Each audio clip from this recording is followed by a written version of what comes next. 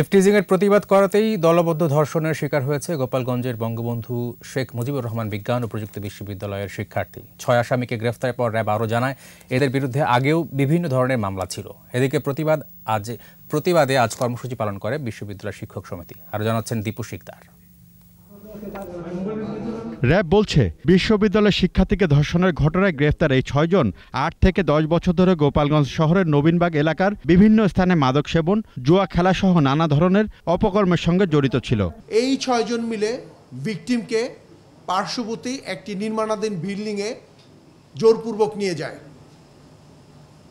পরবর্তীতে তারা এই ভিকটিমকে পালাক্রমে জোরপূর্বক ধর্ষণ করে, মারধর করে এবং ঘটনাস্থল থেকে পালিয়ে যায়।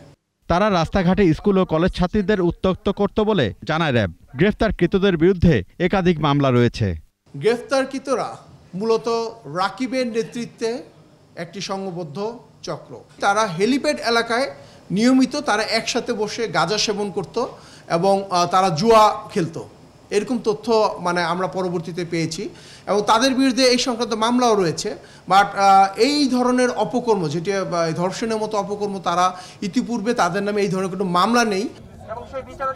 এদিকে শিক্ষার্থীকে ধর্ষণের ঘটনায় গ্রেফতারকৃতদের দ্রুত বিচার এবং শিক্ষার্থী ও শিক্ষকদের উপর হামলায় জড়িতদের গ্রেফতারের দাবিতে কর্মসূচি পালন করেছে বিশ্ববিদ্যালয় শিক্ষক সমিতি। দীপু শিকদার একুশে টেলিভিশন ঢাকা।